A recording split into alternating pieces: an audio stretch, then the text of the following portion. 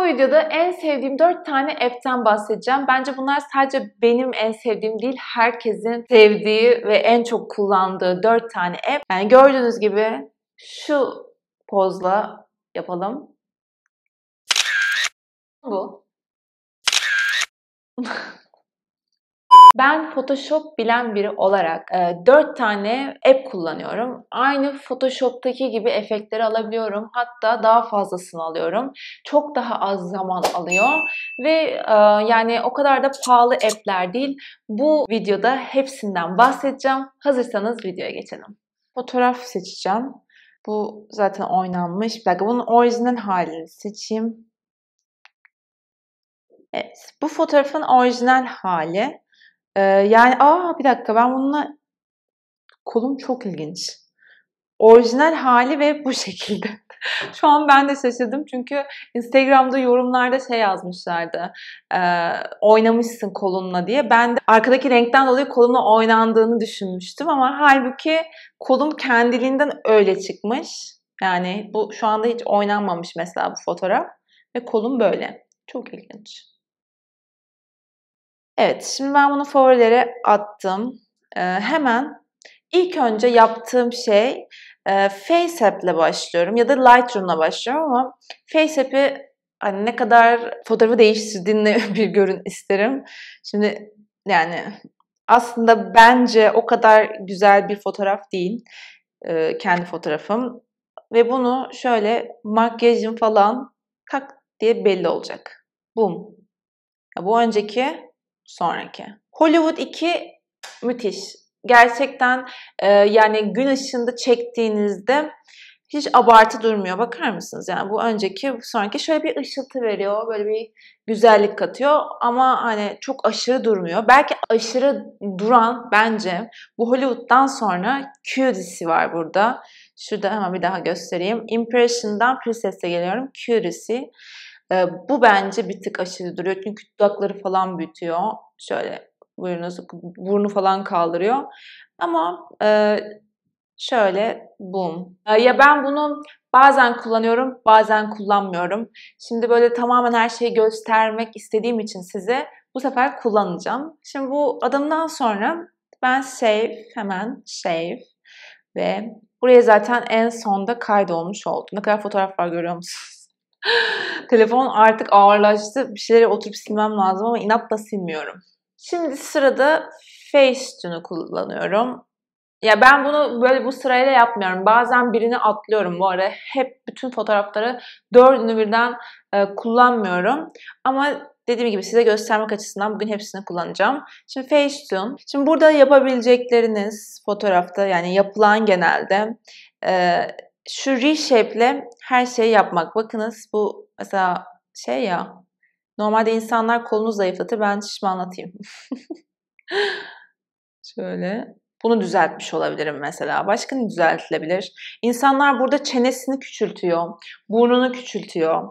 E, eyelinerını sert, yani sertleştiriyor. Daha böyle gözlerini şöyle çekik yapıyor falan. İstediğinizi yapabilirsiniz. Bu, bu gerçekten size kalmış ama ben buna çok oynamıyorum. Ee, oynayınca çok güzel oluyorum. Sonra aynaya bakınca da üzülüyorum.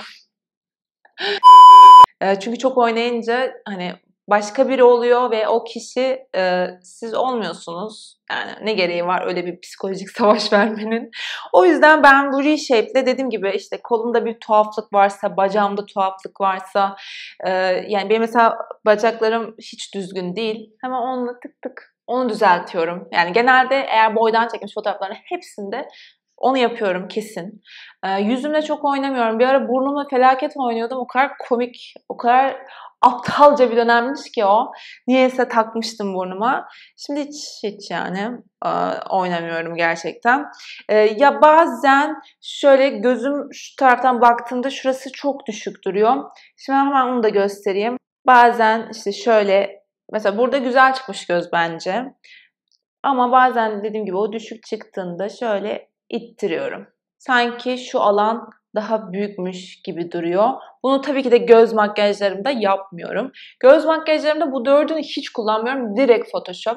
Çünkü çok yakın çekim olduğu için zaten hani niye o göze farklı bir şekil veresin ki? Ya bilmiyorum. Ya göz makyajlarında yapmıyorum sonuç olarak.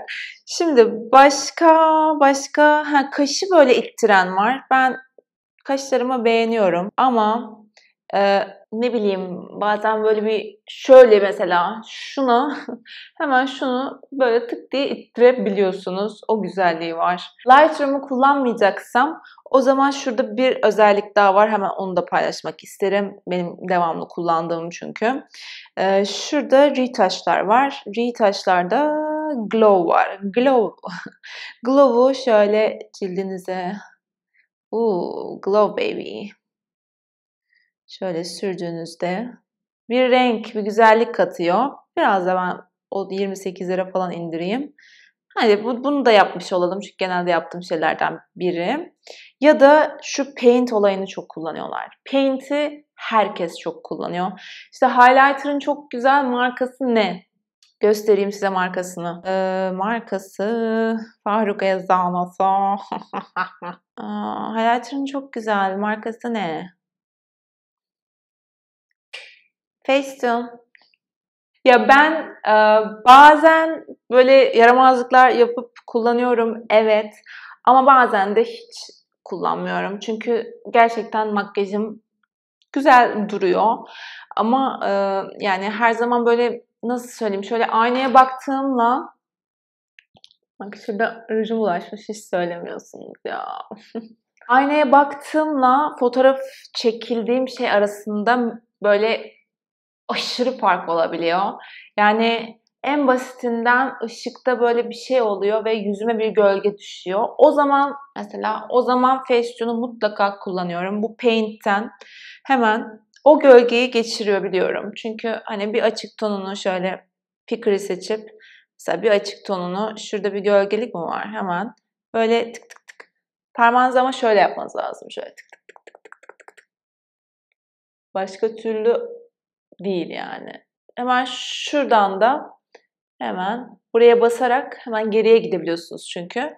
Ee, uçmamak lazım dediğim gibi az az dozunda her şey dozunda. Gelelim artık Lightroom'a. Lightroom ise Lightroom'da o oynayabilir o Lightroom'da oynayabilirsiniz kendiniz ama Onunla ilgili eğer dilerseniz bambaşka bir video çekmek isterim. Çünkü Lightroom'da presetleri evet kullanıyorum ama kullanmadığım zaman kendim oynadığım zaman da o gerçekten bambaşka bir olay. Çünkü tek tek göstermem lazım neyle ne kadar nasıl oynayıp e, nasıl yaptığımı. Şimdi bunu da bu videoya sıkıştırmak istemediğimden dolayı e, ama eğer ki isterseniz yaparım.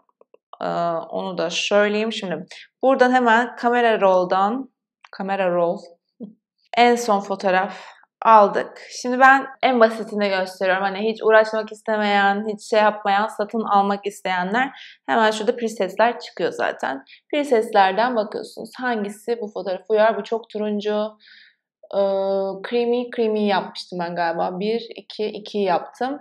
Ama bu presetleri kullandım, tıkladım oldu diye de maalesef bir şey yok.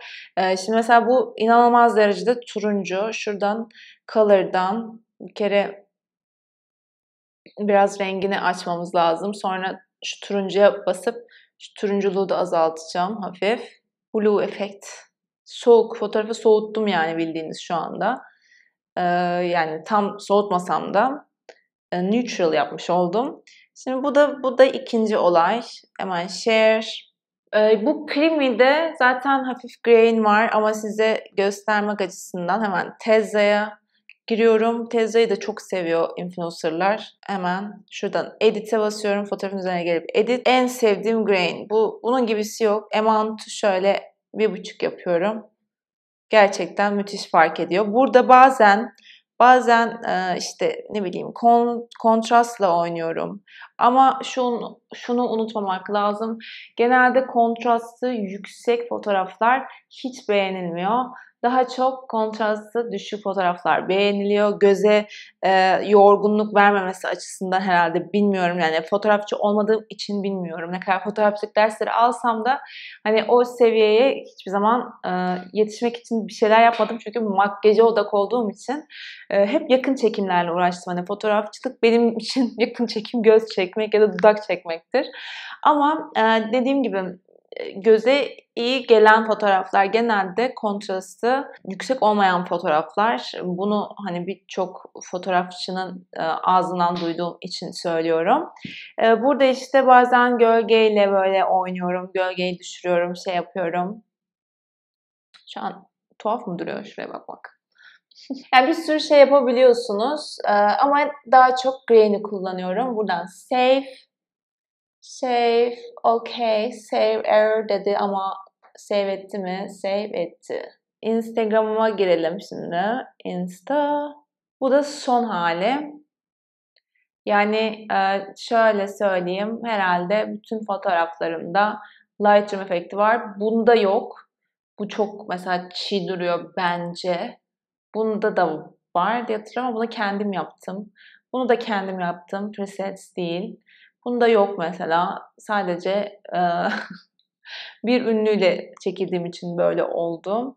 E, iyi like aldı. Ama dediğim gibi göz makyajlarında e, bunları kullanmıyorum. Bunları sadece kendimi fotoğraf çekerken kullanıyorum. Ee, umarım faydalı olmuştur. Ya bence ben bütün her şeyi gösterdim. Ya bunu, e, bu bilgileri derslerde falan veriyorlar. Yani make-up artisti için başvuruyorsunuz işte öğrenmek için. Bunu e, dersin sonunda gösteriyorlar.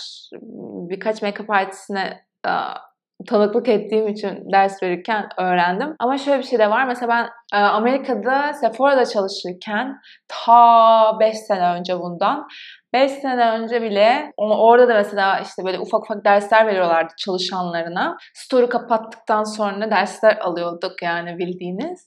O zaman bile bu app'lerin ne kadar önemli olduğundan bahsediliyordu. Bir şey koyarken işte bilmem ne bunun bile e, dersini göstermiş oluyorlardı. Yani bu hiç yani yadırganacak bir olay değil.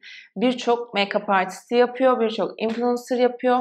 Bence sinirlenmek yerine yani eğer böyle işte şok var bilmem ne diye yazıp sinirlenen bir kişiyseniz ben benim tavsiyem sizin de yapmanız. Yani siz yapınca o zaman karşısındakine insan çok bir şey diyemiyor. Yani saygı duymaktan başka. Belki hani bir şey yapamayınca insan saygı duymuyor o zaman. İşte nasıl şok kullanırsın falan diyor. Ya benim aklıma neden insanlar bu kadar tepki gösteriyor. Başka bir neden bulamıyorum. Hani neden bu kadar lanet yağdırılıyor eğer ki bir shop'un dozunu fazla kaçırınca e, paylaşan kişi neden bu kadar nefret ve linç geliyor onu merak ediyorum. O yüzden dedim böyle bir video çekeyim. En azından yapabilen, e, isteyen herkes yapabilsin, öğrenilsin. E, o zaman belki linçler azalır. O kadar e, oynayıp sonra hani belli bir zaman geçtikten sonra niye böyle bir salakça bir şey yapmışım diye düşündüğüm oldu ki şimdi hani her şeyi dozunda yapmaya çalışıyorum. Ama bence hayatla ilgili olan şeylerde de böyle her şey ne zaman dozunda yapılırsa o kadar güzel yani bütün her şeye su bile ne kadar önemli bir şey su suyu bile dozunda içmemiz gerekiyor yani hayat böyle. O yüzden bu app'leri de e, dozunda kullanalım. E, ya galiba söyleyeceklerim benim bu kadar. Umarım bu video hoşunuza gitmiştir ya da yararlı olarak görmüşsünüzdür. E, eğer gördüyseniz mutlaka ve mutlaka beğenilerinizi bekliyorum. Beğeni bırakmayı unutmayın. E, yani haftanın tam 3 günde video paylaşıyorum. Kaçırmak istemiyorsanız da abone olun. Bundan sonraki videomda galiba ee, ya vlogu yetiştirebilirsem vlog olacak. Eğer yetiştiremezsem de büyük ihtimal yine bir makyaj videosu gelecek. O zamana kadar kendinize çok iyi bakın ve hoşçakalın. Bence şok kötü bir şey değil zaten. Yani şimdi ben mesela fotoğraf çekeceğim ve şoklayacağım. Şoklaması da çok eğlenceli. Yük değil. Ben gidip şoklayayım. Hoşçakalın.